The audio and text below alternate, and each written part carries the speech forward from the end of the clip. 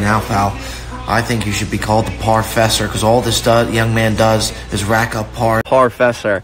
I love that actually. You are? Oh, he's the Parfessor. He's the, pa- he's the Professor. Let's go.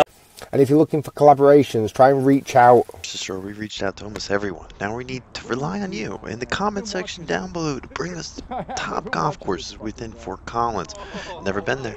And we might go there and celebrate golf with you based on some of these comments. But right now, let's look at the top four courses we could find and play within this area. Let's start off with Ptarmigan Country Club at a 4.5 out of 5. This private golf course does offer public play every once in a while.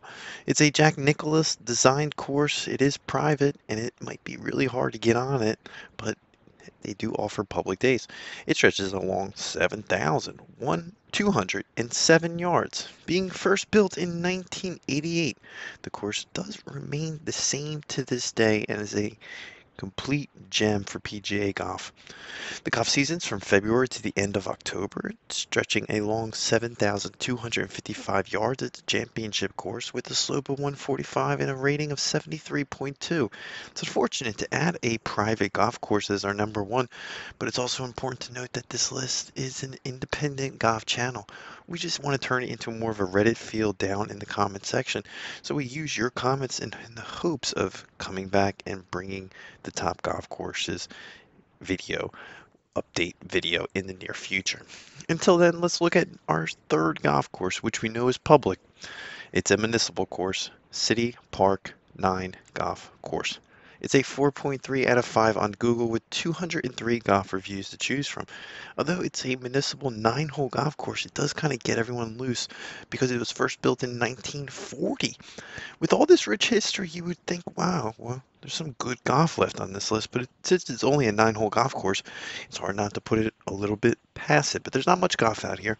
With 3,325 yards to choose from, this par 36 has three different tee boxes to choose from, and for the most part, is one of the top nine hole executive golf courses within the area. And for 20 something dollars, you could play this course. As we move into the top two courses, it's important to subscribe down below for more videos of the Parfessor. We do golf vlogs, we do golf reviews, we do everything golf related. Let's swing on into our second golf course here. South Ridge Golf Course with a 4.2 out of 5 on Google. It has 258 golf reviews to choose from. It's on 127 acres of land, which it's located on. It hosts pretty much the first tee program and other major like youth golf events. It was built in 1991 by Carl Olson, and it, it, stretches along 7,047 yards with a slope of 130. The pictures kind of give it the best justice. This is a nice golf course with ryegrass greens, and it's open year-round. It is a rating of 72.6, and with four different tee boxes to choose from and backdrops that are almost amazing, one would kind of get this started as a championship course on this list. As we continue to bring you the top golf courses in this area, and more importantly, on the East Coast, where we're technically bringing those golf reviews, we're going to have to ask again for you to subscribe down below to the Parfessor.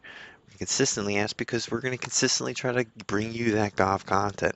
And swinging into our number one golf course, Collindale Golf Course. It's a 4.5 out of 5 on Google with 260 golf reviews to choose from.